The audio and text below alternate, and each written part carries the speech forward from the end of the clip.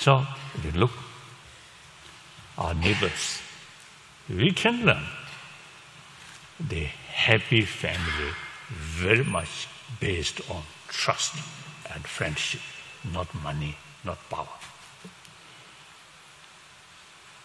Then most important, scientific finding, as I briefly already mentioned. Some scientists is telling that constant fear, constant anger comes actually our immune system eating.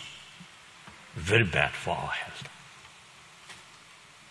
So more compassionate mind, the blood circulations, these also then become much more smooth, smoother like that.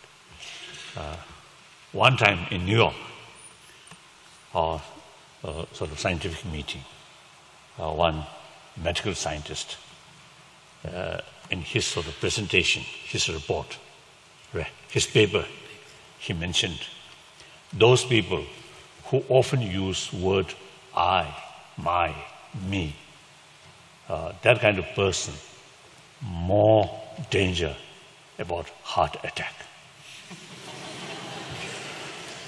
so he didn't explain why.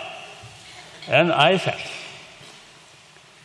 Uh, then, of course, later uh, in our sort of conversation with scientists, uh, then it became clear that those people who express often these uh, words is word usually, if that person, I think, honest, then words reflect their real feeling. A person very clever, not, not honest, that they may express something very nice things, but in deep inside something different. Did that happen. So, so generally, you see, the person who express who express these words, you see, in deep in, inside, you see, self, deep sort of strong self-centered attitude there. So, the word comes, I, I, I, I, like that. So, self, too much self-centered attitude. I usually call inner door closed.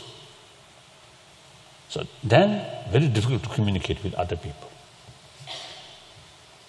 Once you see, develop sense of concern of others' well-being, then inner door automatically opened. very easy to reach out to other people.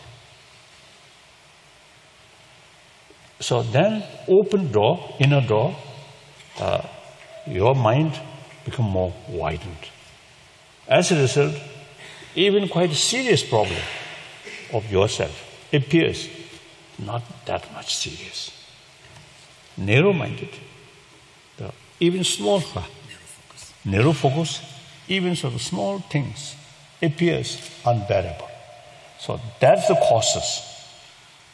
Uh, uh, heart, heart problem, heart attack problem, like that. So medically, also you see, uh, scientifically now shows uh, positive emotions are very important for our health.